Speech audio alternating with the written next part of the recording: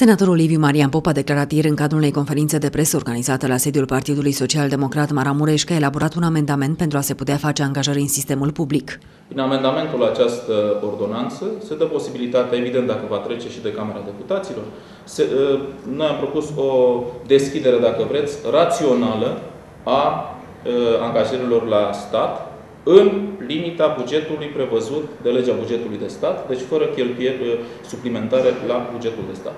Mai pe românește, să eliberează un post luna viitoare în comuna Bogdan Vodă, doamne ferește, acolo mai sunt uh, trei angajați în Bogdan Vodă, uh, să se poată face angajarea dacă, de către Consiliul Local, dacă există și există buget aprobat în zona respectivă. Liviu Marian Popa a afirmat că nu se dorește nici periclitarea acordurilor internaționale și nici a bugetelor. E normal ca să angajăm în acele zone sensibile în care, mai ales uh, în ultima perioadă, s-au vacantat foarte multe posturi, fără să se poată face angajarea, așteptând ca șapte persoane să plece din sistem sau, Doamne ferește, să decedeze, pentru a putea angaja o persoană.